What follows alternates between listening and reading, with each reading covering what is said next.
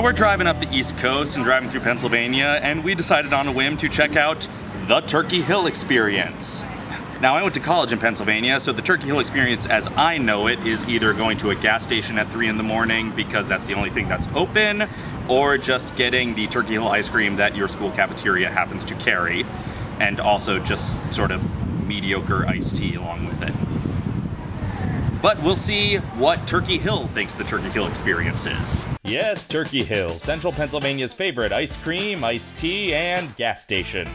Three great tastes that go great together. But a brand so diverse still has found a way to inspire enough brand loyalty to launch this.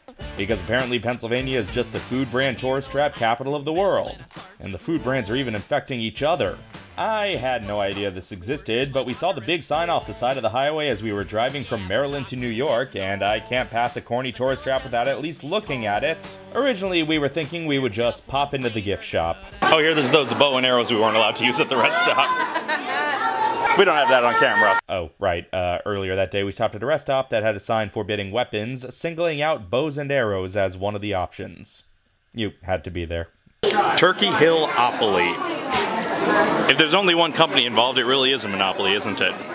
But then a field trip chaperone apparently had some kids who didn't show up, so the chaperone gave us their tickets. So we decided to experience Turkey Hill. First was a low-key, genuine historical museum about the Frey family and how they developed the Turkey Hill brand as they took root in the Susquehanna Valley. Susquehanna Winslow, then it was time to enter the experience. All right. Straight ahead on the left. All the drinks you want, self-serve. Beautiful. Straight, straight back is all the ice cream you want. There's about 10 different flavors back here for you to try. Oh gosh. That's beside the kind of ice cream you're going to get when you go down to the lab. Oh, wow. Just a heads up on ice cream, okay? Okay. Short video in the large ice cream carton will explain how to use the tickets on the computer. Hats are on the other side. You guys go have some fun. Thank We you so will. much. Thank you. right, you're welcome. And once we crossed inside, we saw more of the family history. But hey, it's cool to be indoors and still experience what it's like to be on the porch of a cracker barrel. And beyond that, it was basically an interactive children's museum dedicated to a single brand, and that brand's two most popular products. When I was a kid, there was a stretch where I wanted to be a farmer just because I thought milking a cow seemed interesting. Uh-huh. But what they didn't tell you as a kid was that the others kind of leak from the top.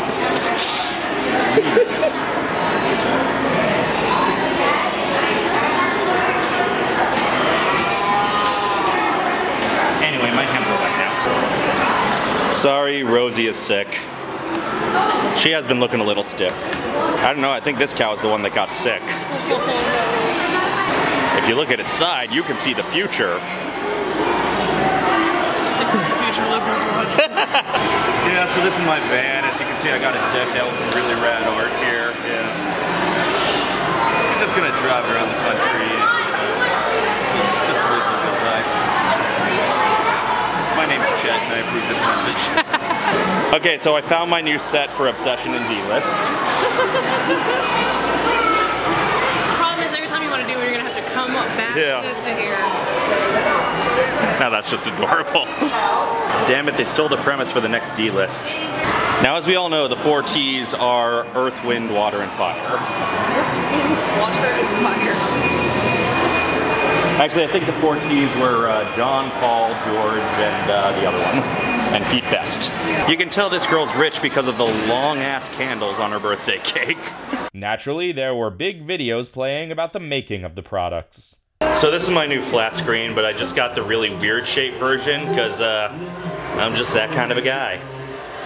See, the aspect ratio I like for my movies is um, obscuring most of it. A lot of it was simulating a Turkey Hill factory, despite the fact that this seems to be nowhere near the premises of the actual Turkey Hill factory, even though the building sure looks like a factory. Well, it's no Burger King Kids Club crown, but it'll do a pinch. I think my head was too big for this even when I was the right age. This is what I want is to pretend to be in food service while I'm still working in food service. See, the uh, the cow has eyelashes because uh, because cows need traditionally feminine signifiers, so you know that the cows are female. Oh, this one's the coolest cow.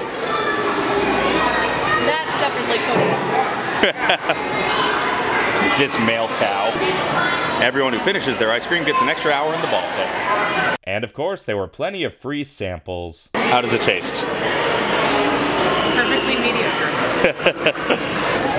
to get to the ice cream, you have to walk through a place that was clearly designed to be backstage. What? The line for ice cream is longer than the line for iced tea? But instead of the normal ice cream samples, we partook in market research. So we tried four slightly different vanilla recipes and gave our feedback. So when Turkey Hill releases a vanilla that's slightly different from the old vanilla, we helped. But of course I couldn't leave without the prime souvenir, my own Turkey Hill commercial. Hi, I'm standing here in the middle of the field, and there is a giant cow head right behind my back. It's moving around, but honestly, that thing is way too big for me to be this small. Anyway, I'm here to talk to you about Turkey Hill ice cream. Uh, look, there are words pointing to the cow. There's also a logo right behind me somehow, because that's how logos work. Look, if you want cream, but wish it was just a bit colder, why not go with ice cream? It's good. You like it already. You don't need me to sell you on ice cream. Turkey Hill. The Turkey Hill experience is a quaint and quirky little stop, and if you live in Pennsylvania and have small children, it might be a fun little day trip for you. I loved children's museums like this as a kid, even if I had no idea what I was actually supposed to be learning from them. If it's interactive, it's fun.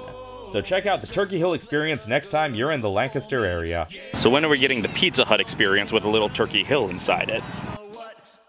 Need, baby, I love Rocky Road, so won't you go and buy half a gallon, baby?